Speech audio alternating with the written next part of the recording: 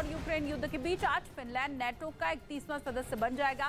Finland ने सैन्य संगठन नेटो में शामिल होने का आवेदन किया था और आज फिनलैंड नेटो में शामिल होने जा रहा है। ऐसे में इस फैसले को पुतिन के लिए एक बड़े झटके के तौर पर देखा जा रहा है। इस फैसले के बाद नेटो के महासचिव ने कहा है कि यह कदम फिनलैंड को सुरक्षित और गठबंधन को मज़बूत बनाएगा। उधर फिनलैंड के नेटो में शामिल होने की तारीख तय हो गई, जिसके बाद रूस के मीडिया में फिनलैंड को सबक सिखाने की मांग उठने लगी। तुर्की की संसद में फिनलैंड को नेटो में शामिल करने से जुड़ा बिल पास हो चुका है। और उसके नेटो का इकतीसवां सदस्य बनने की उल्टी गिनती शुरू हो चुकी है। लेकिन इस ऐलान से रूस में हड़कंप मच गया। वहाँ के मीडिया में यह बहस का मुद्दा बन गया, जिसमें वैसी ही भाषा का इस्तेमाल किया गया, जैसी यूक्रेन के लिए इस्तेमाल की गई थी। क्योंकि रूस के न्यूज़ चैनल ने फिनलैंड को यूक्रेन की तर्ज पर मुक्ति देने की हिमायत की। चर्चा में कहा गया कि जिस तरह से यूक्रेन को नाजी विचारधारा से मुक्ति दी जा रही है, वैसी ही कोशिश फिनलैंड में भी होनी चाहिए। यानी रूस के मीडिया में फिनलैंड का हश्र यूक्रेन जैसा करने की मांग उठी। चर्चा के दौरान पुतिन का नेटो से जुड़ा एक बयान भी चलाया गया, जिसमें वो नेटो के काम करने के तरीके पर बात करते दिखे।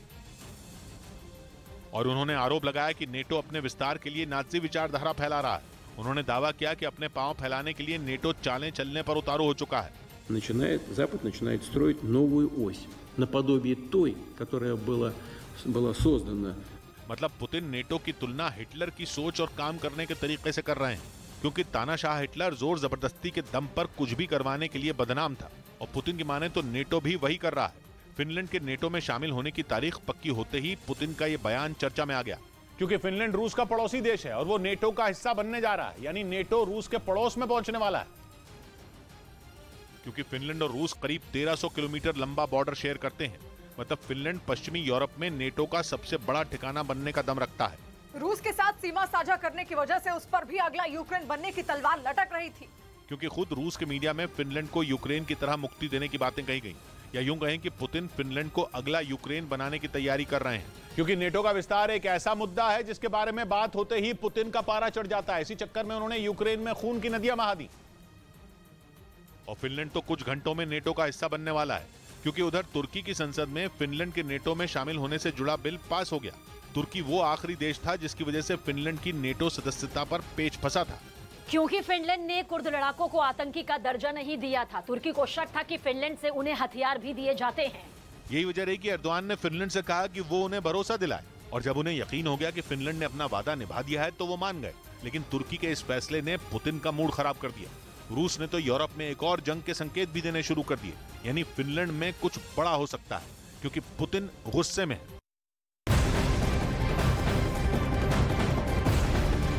और वहीं फिनलैंड को नेटो में शामिल होने पर पुतिन का गुस्सा सातवें आसमान पर पहुँच चुका है। रूस की तरफ़ से बड़ी चेतावनी आई है। रूस अपने पश्चिमी और उत्तर पश्चिमी इलाके में सैन्य क्षमता को और अधिक मज़बूत करेगा। फिनलैंड और रूस दोनों देश एक दूसरे एक दूसरे देशों के साथ करीब 1300 किलोमीटर की सीमा साझा करते हैं। इस सीमा पर रूस कई इलाकों में सेना की तैनाती करने वाला है। और इतना ही नहीं, बौखलाया रूस अब पश्चिमी बेलारूस में टेक्टिकल परमाणु हथियारों की तैनाती भी करने वाला है।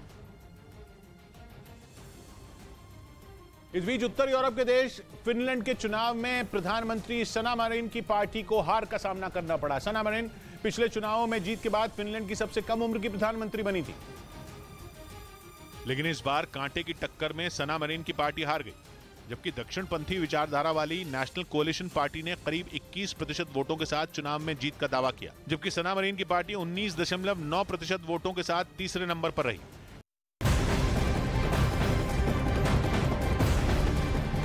इसी बीच एक और बड़ी खबर आ रही है नेटो चीफ ने यह भी इशारा कर दिया कि फिनलैंड के बाद उसके पड़ोसी देश स्वीडन भी बहुत जल्द नेटो में शामिल कर लिया जाएगा। खबर यह है कि स्वीडन के नेटो में शामिल किए जाने संबंधी प्रोटोकॉल पर नेटो के सभी तीस देशों ने साइन भी कर दिया है।